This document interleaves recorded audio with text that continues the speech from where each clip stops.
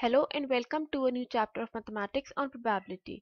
Now since we have studied a bit about probability in standard 11, so today we are going to start with conditional probability. Later we are going to deal with multiplication theorems on probability and finally we are going to deal with some numerical problems that would be based on conditional probability.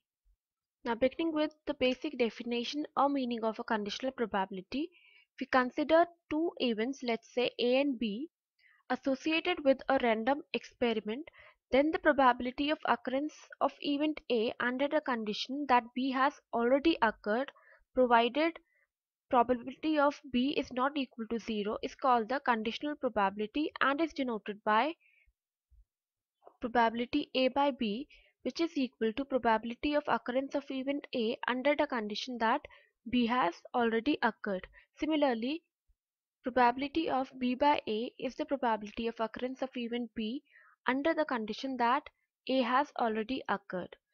Thus, the probability of occurrence of event A under the condition that B has already occurred is given as P A by B is equal to P probability of A intersection B divided by probability of A where probability of A is not equal to 0. Similarly, probability of occurrence of event B under the condition that A has already occurred is given as probability of B by A is equal to probability of A intersection B divided by probability of B where probability of B is not equal to 0.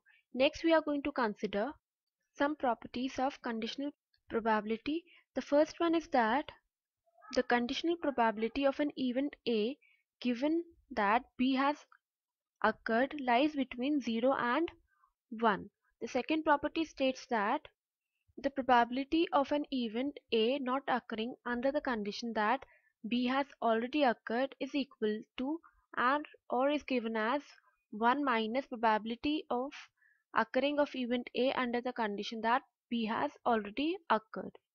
Next we are going to discuss some theorems which are useful in computing the probabilities of simultaneous occurrence of two or more events associated with a random experiment.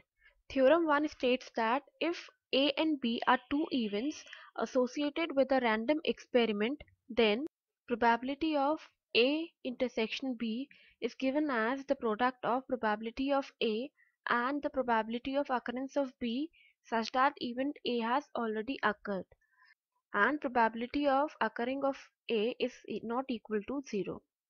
It can be also given as the product of probability of B into probability of occurrence of event A under the condition that B has already occurred provided probability of B is not equal to 0. The next theorem says that if A1, A2 to AN be n events associated with a random experiment probability of A1 intersection with A2 up to AN is given as shown where probability of AI by A1 intersection of A2 up to AI minus 1 is the conditional probability of occurrence of AI provided A1 intersection of A2 up to AI minus 1 has occurred. Finally, we are going to consider a problem that is based on conditional probability and states that a dice is thrown twice and the sum of the numbers appearing is observed to be 7.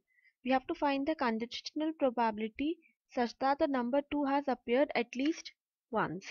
Now here the sample space S has 36 equally likely outcomes and we suppose A to be the event such that the sum is 7 and B is the event in which number 2 appears at least once. Now here can A can be written as the combination of numbers such that the sum is 7. We have the combination as 1 and 6 or 2 and 5 or 3 and 4 or as 4 and 3 or 5 and 2 or as 6 and 1 as its numbers. Similarly, B can be written as the combination of numbers such that 2 appears at least once. So we have the combination as 2 or 1, 2 and 1, 2 and 2, 2 and 3, 2 and 4, 2 and 5 and 2 and 6. Similarly, we can have the combination as 1 and 2, 3 and 2, 4 and 2, 5 and 2 or as 6 and 2. So these are the values of the numbers that can be up that can appear on the dice.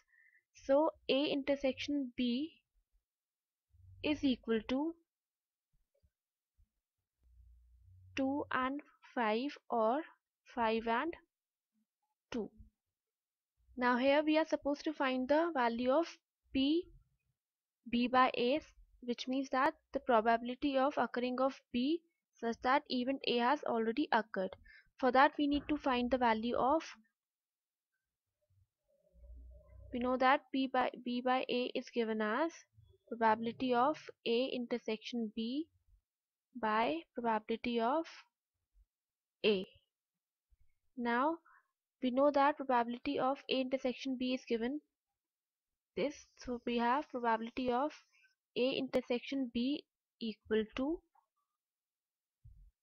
2 divided by total number of sample space which is 36 similarly probability of A is the number of combinations divided by total sample space which is equal to 36 so we have probability of A intersection B equal to 2 by 36 and probability of A as 6 by 36 this gives us a value of 1 by 3. Thus, the conditional probability that number 2 appears at least once in the given problem is 1 by 3. Next, we are going to consider another conditional probability problem in which we have a bag containing 10 white and 15 black balls. Two balls are drawn in succession without replacement and we have to find the probability that the first one is white and the second one is black. Here we consider the following two events. The first event that is A is the event of getting a white ball in the first draw and in event B we get a black ball in the second draw. Then the required probability is equal to as given in the problem the probability of getting a white ball in the first draw and the black ball in the second row which is equal to probability of A and B which can be written as probability of A intersection B which can be further written by the use of the conditional probability we have. The required probability equal to the product of probability of A in and probability of event B occurring such that event A has already occurred. Now here probability of A is given as now probability of A is equal to 10 C1 divided by 25 C1 which is equal to 10 by 25 or 2 by 5 and probability of B by a is equal to the probability of getting a black ball in second draw and a white ball has already been drawn in the first draw. Thus, probability of B by A can be written as 15 C1 divided by 24 C1 since 24 balls are left after drawing a white ball in first row out of which 15 are black. Now the required probability is given as in equation number A. So we have the probability as